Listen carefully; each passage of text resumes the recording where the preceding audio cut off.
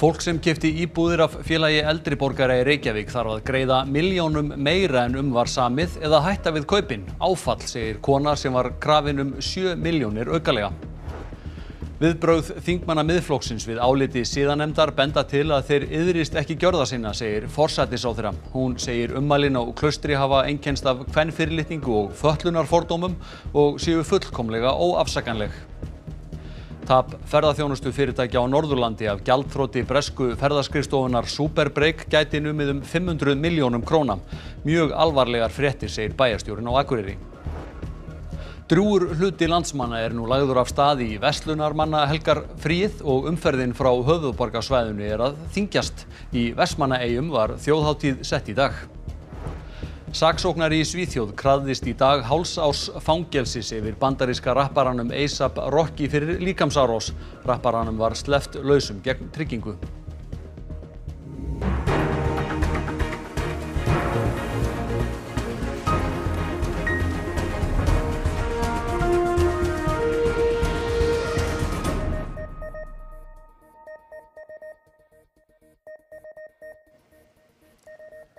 Komiði sæl.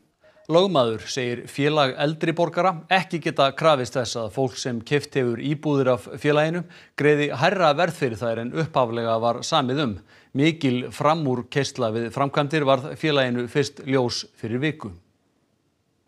Kaupendur að íbúðum sem félag eldri borgara í Reykjavík reisti í árskóum í Breiðholti fengu í gær bref þess efnis að annað hvort þyrftu þeir að samþykja miljóna hækkun á kaupverði eða falla frá kaupunum. Ástæðan er svo að kostnaður við framkvæmdirnar fór fram úr áætlun. Verktækin neitað að afhenda líklana að óbreyttu. Íbúðurnar eru 68 talsins og hafa flestar verið seldar. Er fyrstu voru afhendar í gær og í dag voru nokkrir í óða önn við að flytja inn. Þeir sem fréttastofarætti við voru hissa og enna átta sig. Sumir voru sárir, aðrir sögðu félagið verið að gera sitt besta. Það var talsvert áfall, ég satt að, satt að segja og ekki það sem ég bjóst við. Og þessir kostir annarkvært að hætta við eða greiða, þetta er, eru harðir kostir. Ertu búin að skrifa undir skilmálabreitingarplaggi hjá, hjá félaginu? Já, ég gerði það í gær. Það var engin annar kostur í bóði í raun og vera. Íbúð Sigrúnar hækkaði um 7 miljónir. Hækkunin er mismikil eftir stærð íbúða en nemur yfirleitt um 10%. Sumir er í miklum vandræðum, geta jafnvel ekki keift íbúðuna lengur og eru búinir að losa sig við þá gömlu. Bygginganemnd hefur náttúrulega borið ábyrð á þessu verki innan félagsins og við höfum aldrei fengið önnur skilabóð þaðan en að allt væri þar í lagi og stæðist. Svo þegar við byrjum að vinna úr þessu fyrir viku síðan þá bara kemur í ljós að svo er alls ekki. Og það er það sem kemur svona illa aftan að okkur og, og veldur þessu, þessu leiðanda máli. Hún segir að það virðist hafa komið flatt upp á bygginganemndina líka. Nemndin hafi gefið þar skýringar að framkvæmdir hafi dreyjist, byggingavísi tala hækkað og fleira ófyrir síðan komið upp. Félagið hefur í dag og í gær fundað með átján kaupendum. 13 hafa sög sigriðar samþygt hækkununa. Samkvæmt heimildum fréttastofu var fólk beðið að halda trúnaðum efni fundarins. Það voru engir fyrirvarar í kaupsamningum um að verð geti hækkað. Lögmaður sem aðstóða hefur félag eldri borgara segir að kaupsamningur um hverja íbúð sé tvíhliða, heimilt sé að breytónum séu báðir aðilar samþykir því. Lögmaður eins kaupandans segir aftur á móti að kaupendum beri engin skilda til að taka þessum afar kostum. Fólki gerði kaupsamning í trösti þess að, að þurfa að borga kaupverðið og ekkert meira. Hafi mistök verið gerð séu þau á ábyrð félagsins og ekki sé hægt að senda kaupendum bakreikning. Það bara gengur ekki og, og stendst ekki lög og reglur. Hafi kaupendur staði við sitt getið þeir krafist emda. Ef þau fá ekki íbúðunar afhendar og þá þurfa þeir eftir atvikum að, að leita til dómstóla eða, eða þá síslumanns embættisins og, og, og láta setja sér inn í íbúðunar. Sigriður leggur áherslu á að þrátt fyrir allt sé verðið ennum 10-15% undir markasverði. Félagi leiti nú allra leiða til að lækka það. En telur hún samningana standast lög og gæti félagið reynst bótaskilt okkur líður auðvitað eins og við séum, hefum ekki alveg staðið okkur þarna. En það verður bara komið ljós en það er alveg skýrt að félag eldriborgara er endanlega ábyrgt fyrir þessu. Forsættisáþra er ekki þeirra skoðunar að viðurlög eigi að vera við brotum á siðareglum þingmanna. Hún segir hins vegar að viðbrögð þingmanna miðflokksins við áliti síðanemdar bendi til að þeir yðrist ekki gjörða sína. Þau orð sem voru látin falla á klaustri hafi verið fullkomlega óafsakanleg. Gunnar Bræi Sveinsson og Bergþór Ólason, þingmenn miðflokksins, brutu síðareglur með niðrandi ummælum sínum á barnum klaustri í november samkvæmt síðanemd og sérstakri forsættisnemd alþingis. Forsættisráðherra segist bera virðingu fyrir áliti síðanemdar og það standi en hún hafi ekki skipt um skoðun frá því að málið kom fyrst upp í desember. Þarna voru gríðarlega óviðeigandi ummæli látin falla tímunum saman á ofinbjörnum vettfangi sem einkendust af kvennfyrirlitningu, föllunafordómum og, og mannfyrirlitningu og voru auðvitað fullkomlega óafsakanleg. Sigmundur Davíð Gunnlaugsson, formaður miðflokksins og Anna Kolbrún Árnadóttir þingmaður eru ekki talin hafa brotið síðareglur. Þingmennir fjórir hafa líst yfir vandlætingu sinni á vinnu og áliti síðanemdar og sagt hann að starfa í pólitískum tilgangi. Sigmundur sagði í gæra niðurstaðan síndi hversu fáránleg vegferð klausturmálið hafi verið. Til dæmis hvað sjálfan mig varðar. Ég held að sé alveg óætt að segja að ég hafi verið megin skotmarkið í þessar aðgerð en þrátt fyrir átta mánuða tilhörnir þar sem að menn fóru meiri sig að svig við lög og grundallarreglur réttaríkisins tókst ekki annað en að sína fram á að það hefði ekkert brota átt í stað. Katrín segir þetta benda til að þeir átti sig ekki á alvarleika málsins og yðrist ekki. Sko það sem kemur mér kannski fyrst og fremst á óvart eru viðbröð þessara þingmanna sem umræðis. Að þeir virðast ekki ennþá skinja alvarleika sinna orða uh, í garð þeirra sem umvar talað, uh, ekki skilja orð hafa afleðingar og jafnvel reyna að snúa málinu upp í einhvers konar pólitískan spuna um að hér séum aðför að þeim að ræða því það var auðvitað engin annar sem talaði á þessari tilteknu krá en þessir þingmenn og því er ekki hægt að snú upp í einhverja pólitíska aðför annara af þeim. Jóhanna Sigurðardóttir, fyrirverandi fórsættisáþra, sagði í fæslu á Facebook að hún teldi að brot á síðareglum ætti að hafa afleðingar, til dæmis með því að viðkomandi þingmaður eru þá sendur í launalust leifi. Katrín er ekki samála því en vonast til þess að klausturmálið kalli á meiri umræðu um hlutverk síðaregluna þingmanna. Ég er ekki þeirra skoðunar síða, brot á síðareglum kalli endilega á viðurlög. Það, hefur, það eru ólíkir skólar innan þessa heims. Ég er fremur þeirra skoðunar þetta sé síðarreglur eiga þjóna til þess að bæta menningu fremur en það er kalla á sérstök viðlög. Fréttastofa hefur ekki náði Gunnar Braga og Bergþór þrátt fyrir ítrekkaðar tilraunir. Uppsagnir eða launalækkanir eru ekki á tekniborðinu hjá Æslandir þrátt fyrir slæma afkomu á fyrirhelmingi þessa árstasögn fórstjórans.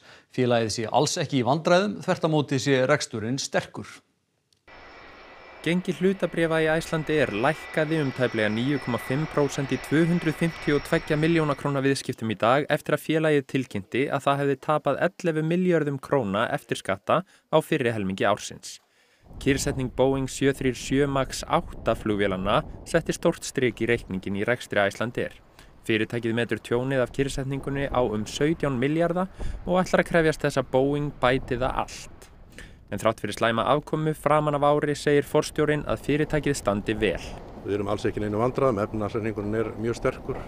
Við erum yfir 400 miljónir dólar í EIFI og yfir um 200 miljónir í, í lausafjöð þannig að við erum alls ekki vandraðum en auðvitað skapar maksmálið, það er, það er, það er mikill kostnæður og tapað tekið sem að fylgja því og, og það hefur talsverð áhrif og, og við, en við teljum að það leysist fassalega fljótlega og og við haldum áfram að styrkja okkar rekstur.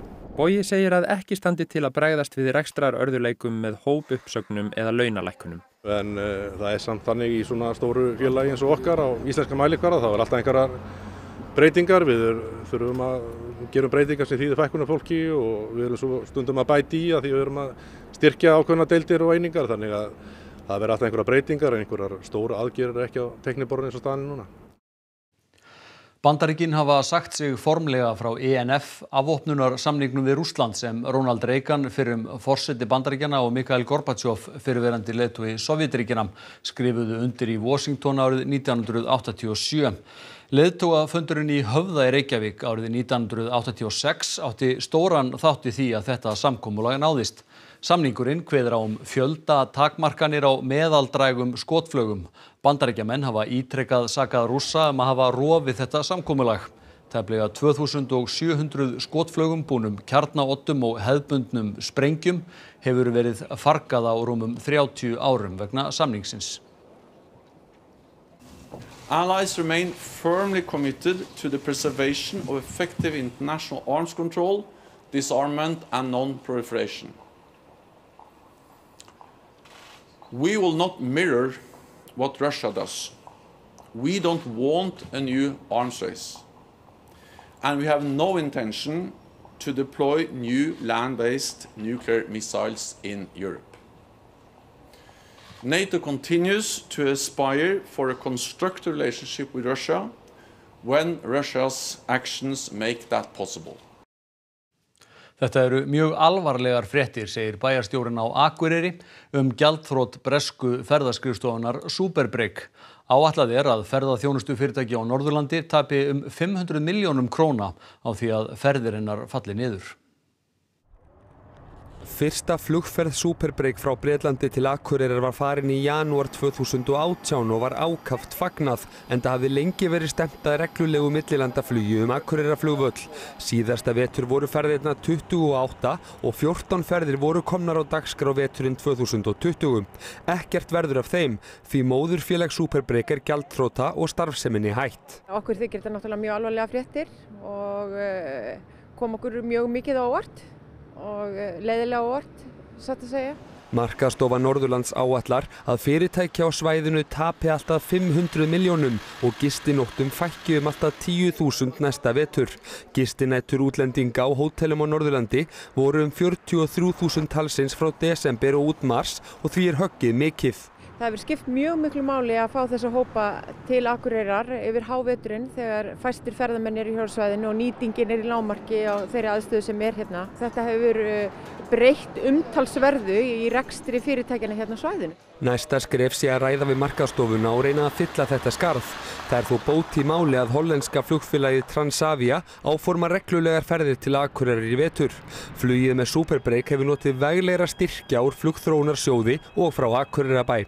Við ákvaðum að fara í þetta verkefni og, og það þýðir ekkert að sjá eftir því. Það, þetta hefur skilað mjög miklu hinga til og uh, það, markasetning er ekki, er ekki tapaði fjármunir, við verðum bara að halda áfram. Íslenskur hjúgrunarfræðingur sem hefur starfað við að stöðva útbreiðislu ebólu faraldurs í Uganda segist óttast að faraldurinn eigi eftir að breyðast yfir landamæri. Ástandið fari versnandi en það gerir ílt verra að loka landamærum. Skæðasti ebólufaraldur sem upp hefur komið í Kongo hefur nú geisað í tæft ár og lagt yfir 1600 manns í valin. Þrjú tilfelli hafa grenst í borginni Goma í Kongo sem hefur landamærnað Rwanda. Magna Ólafsdóttir hjúkunarfræðingur er nýkomin frá Uganda þar sem hún var í mánuð á vegum Rauðakrossins til að aðstöð við að stöðva útbreyslu sjúkdómsins. Hún segist búast við því að ástandiði eftir að vestna og faraldurinn geti breyst yfir landamæri. Miða við að þetta er að slaka, það er að slaka á útbreyslunni að það óttast maður það gífilega og sérstaklega þegar fleiri tilfellir að greinast í svona þéttbílum borgum eins og góma. Stjórnvöldi í Rwanda lokuðu landamærnum að Kongo í átta tíma í gær af átta við útbreyslu ebóluveirunar þangað. Magna segir ekki æskilegt að loka landamærum til að hefta útbreyslu faraldusins. Fólk farið þó yfir landamærum með öðrum leiðum og komist hjá því að fara í eftirlit sem það hefði annars farið í gegnum. Þetta er eitthvað sem er búið að ræða oft mikið og, og, og hérna, fram og tilbaka í gegnum árin og hefur sínt að, að í rauninni skilar ekki, ekki miklum árangri að loka að og loka fólkið inni í sínu, sínu borgi eða sínu héræði, sínu landi. Málið er að hérna, það veldur bara okkur um óta, fólk verður hrætt, uh, fólk fer að hérna, sína okkur um vantrú á þá helbur í siðvöldum að hjálpa starfsmönnum á því sem er verið að gera og leita rannari leiður. Vestlurmannar helgin er gengin í garð og margir á ferð og flugi og sumir jafnvel þegar búinir að koma sér fyrir á tjálstæðum. Í Vestmannaeyjum var þjóðháttíð sett með viðhöfn eftir hátegi. Þangað liggur að vanda mikill ströymur fólks og í eigum er búist við sérlega fjölmennri háttíð þetta árið. Nú til að komast sjóliðina til eiga þarf að fara um Suðurlandsveg og við hann er Birkir Blær Ingólfsson frettamæðustatur. Birkir, hvernig er umferðin? Já, hún er satt að segja ekkert sérstaklega þung eða hreinlega bara alls ekki en ég er svo sem ekki sérfræðingur og þess vegna er hann Einar Magnús komin til mín og hann er sérfræðingur. Einar, hvernig hefur umferðin verið í dag? Þetta sé alveg óvægt að segja hún hefur gengið bara mjög vel. Við vorum í samband við neyðalínuna núna rétt áðan og það hefur ekkert alvarlegt slís orðið í tengslu við umferðina, hvorki dag nýja í rauninni undanfarna daga. Og er það ekki dálítið óvinnulegt? Eh, það, er, það má segja það. Eh, það virðist vera sem að umferðin sé að dreifast yfir fleiri daga. Eh, sem dæmi að, að umferðin núna á þessum föstu degi, hún er ekki eins mikil eins og hún hefur verið á föstu dögum undanfærin að Vestlunar helga en það þýðir samt ekki endilega það að það séu færri eh, á ferðinni, það er að segja færri á ferðalagi þessa, þessa Vestlunar helgi heldur kannski hafa menn farið fyrir að stað sögum þess hvað veðrið er gott. Akkurat. Uh, en hvernig er það? Þeir sem er að fara til Vestmannaða, þeim er sagt að, að gefa sér góðan tíma. Er það meira en venjulega? Það er, það er mjög mikilvægt að fólk gefi sér góðan tíma e, til Vestmanna og það er kannski svolítið óvennilegt að, að núna hafa þeir hjá Herjólfi gefið út þau bóð að, að menn séu komnir e, tveimu klukkustundum fyrir brottfur úr landegarhöfn til landegarhöfnar og við það bætist að það er e, ráðlegt að, að gera ráð fyrir alltaf þremu klukkustundum frá höfuborgarsvæðinu og austur á landegarhöfn og þetta reyndar er auðvitað fyrir eftir tímum sólarhengsins, það er líklegt, líklegt að þessi fara að róast núna eins og við sjáum hér á um, umferðinni en þetta er eitthvað sem þeir hafa bóðað út og, og, og er, við býðum hvernig fólk til þess að fylgjast mjög vel með. Það er nefnilega það, takk hérlega fyrir. En það er ímislegt um að vera viðsvegar á landinu og hátíðir víða, hann Jón Þór ætlar að segja okkur betur frá því. Já, Birgir, ég ætla alltaf að segja ykkur frá einhverju. Ég er stattur í Ólasfjörðu. Hér eru berjadagar haldnir, tónlistarháttíð í 21. sinn, en í fyrsta sinn um Vestlurumannahelgi. Kanski ekki stærsta eða fjölmérasta háttíð landsins, en þetta er háttíð með sál og mikil áhersla á, á vandaða dagskrá. Hér í Ólasfjörða kirkju eru að hefjast háttíðatónleikar klukkan 8 og síðan er kvöld stíga á svið félagarnir hundi í óskilum. Þú kannski heyrið og sáðu, þá verður þið byrjað að æfa sig. Jæja, hvað ætlið þið að gera í kvöld? Við ætlum að vera með tónleika klukkan 10.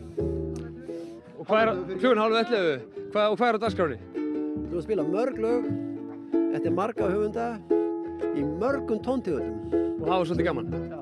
Já, já. Eins og alltaf. Það verður einhver að halda utan um átíðina og það er hún Ólöf, hún er hérna líka, Ólöf, um hvað snúast berjadagar? Berjadagar snúast náttúrulega um þá eðlulist tónlist. Þannig að hérna hér eru við að kynna 35 listamenn og hafa það indislegt. Er þetta klassísk músík fyrst og fremst? Klassísk og svolítið af hérna, léttri músík og líka brasilískri tónlist og óperu. Þannig að það er ímislegt á bóstólum.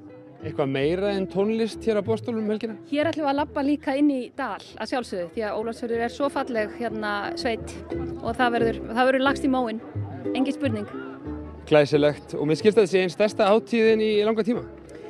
Já, það bara vill svo til að við erum að fara að flytja óperu þannig að við þurftum að stopna einsöngur að kór og hér er komin einsöngur að kór þannig að við erum alveg að fara að taka á stóru hérna verkefni. Frábært og það er sjálfsögðu mikið um að vera víðar um Norðurland hér í næsta nákvæmlega á Siglufyrði er síldaræfintir á sínum stað og stærsta hátíðin líkla á Norðurlandi á Akureyri ein með öllu og íslensku sumarleikarnir. Við fylgjumst með þessu öllu saman um helgina en mér skilst að Solveig Klara Ragnarsdóttir frettamæður sé á innipúkanum í Reykjavík.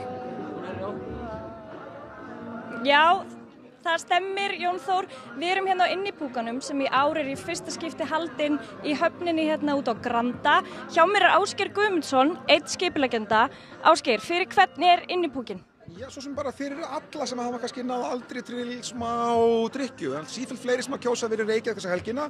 Stór ferðahelgi, en fleiri og fleiri átt að segja á því hversu skynsalegt það er að sleppa því að vera á yfirfullum tjálstæðum hérna, og kjósa að vera hér hjá okkur á innipúkanum. Er eitthvað nýtt við innipúkan í ár? E, já, eða nýtt og ekki nýtt, allavega hefur úti dagskráðin fengið nafn, núna erum við með útipúkan, en alltaf bara sama góða fjölbreytta dagskráðin og eitthvað sem hendar öllum. Það hefur vikið aðtikli að útipúkin er einmitt fyllir þrjú kvöld einungi skipu kvennkynns listamannum. Hvað kemur til? Í það er kannski bara okkar leið á að senda út í hátíðum landsins smá svona pillu um að þetta sé ekkert mál.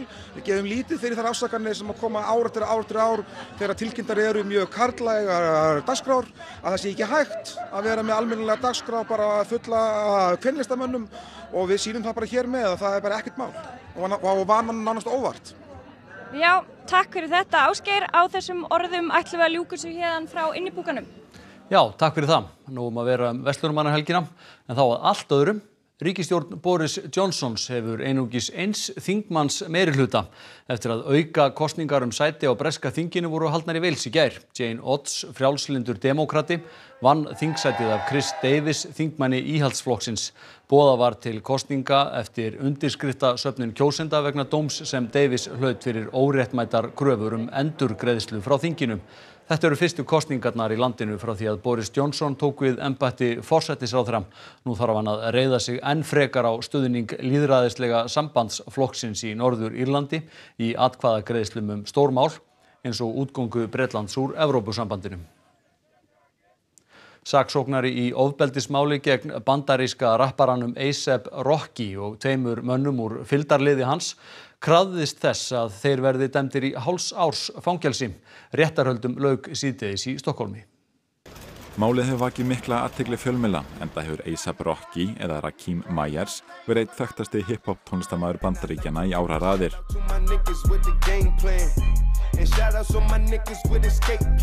Þá hringdi Donald Trump bandaríkjafósiti í Stefán Löfven fósættisráðherra Svíþjóðar og þrýsti á hann að beita sig fyrir því að A$AP Rocky yrði látin laus. Mönnunum er gefið að söka hafa gengið í skrokk á 19 ára manni Mustafa Jafari í Stokkólmi í lok júni. Saksóknari hefur nú farið fram á háls ársfangilsi við rapparanum og tveimur úr fylgdaliðans. Rapparinn segist þeirra saklaus og sagði fyrir rétt í gær að hann hafi verið að verjast áreitni og augrunum ákjæranda sem hafi augljóslega verið á eitulifjum. Me and the crew start to tell him, listen, go the other way, go that way. We don't want no problems. We don't want no beef. But Jafari, he was persistent and he kept pursuing and he was like, come on, come on. At that moment, Jafari's friend came from out of Max's and he asked us if all three of us had um, jumped Jafari, If jumped. yeah. if we beat up Jafari. We told him no. We said we didn't even want to fight. Nobody wants to fight. You know, we just was like, please just leave us alone. We don't want to fight. Go that way. Go another way. Jafari fer sömulegis fram á tæpar 2 miljónir íslenskra króna í skadabætur. Hann rif beins brotnaði meðal annars og hlaut opið höfusár í slagsmálunum. Fjölmarkir aðdándi rapparans hafa sapnað saman fyrir utan hérastómin í Stokkólmi síðustu daga. Yeah, the whole trial, I mean, the whole situation is a shame, I think, for this country, for this nation, the people. Uh, I mean, is boycotting the country. I don't know, not looking good. So I really hope for him and for everyone he get released and clean his name. Rapparinn var látin laus gegn tryggingu síðdegis og býður nú dóms. Og þá að veðri. Hæglætis veður á morgun og svipaður hitti, heldur meira skýjað á morgun, engum sunnan og austanlands og stöku síðdegi skúrir inn til landsins. Hrafn Guðmundsson, veðurfræðingur, fer betur yfir veðrið fyrir Vestlunum mannahelgina á eftir íþróttum og Kristjana Arnarsdóttir er með íþróttafrétti kvöldsins. Spennan held áfram á heimsleikunum í CrossFit í Wisconsin í Bandaríkjunum á öðrum keppnistegi leikana í dag. Enski landslismæðurinn Harry Maguire er á leið til Manchester United, hann verður dýrasti varnarmæður heims. Og Stephanie Frappart verður fyrst hvenna til að sjá um domgærslu í leik meistara meistarana. Þar mætast Chelsea og Liverpool 14. ágúst. Og þá skulum við rifja upp helstu atriði frétta. Fólk sem kefti íbúðir af félagi eldriborgara í Reykjavík þarf að greiða miljónum meira en um var samið eða hætta við kaupin. Áfall segir kona sem var krafin um 7 miljónir aukalega. Viðbrögð þingmanna miðflokksins við áliti síðanemdar benda til að þeir yðrist ekki gjörða sína, segir forsættisáþra. Hún segir ummælin á klaustri hafa einkennst af kvennfyrirlitningu og föllunar fordómum og séu fullkomlega óafsakanleg. Tap ferðaþjónustu fyrirtækja á Norðurlandi af gjaldþróti bresku ferðaskrifstofunar Superbreak gæti numið um 500 miljónum króna. Mjög alvarlegar fréttir, segir bæjarstjórin á Akureyri. Drúur hluti landsmanna er nú lagður af stað í Vestlunar manna helgar fríð og hefur umferðað gengið að mestu greiðlega og slisa löst. Í Vestmannaeyjum var þjóðháttíð sett í dag. Saksóknar í Svíþjóð krafðist í dag hálsárs fangelsis yfir bandaríska rapparanum A$AP Rocky fyrir líkamsárás. Rapparanum var sleppt lausum gegn tryggingu. Þessum frettatíma er lokið. Næstu frettir verða sagðar í útvarpinu klukkan 10 í kvöld og vefurinn rúf.is er uppfærður allan sólarhingin. Við segjum þetta gott í byli, njótið helgarinnar, verið sæl.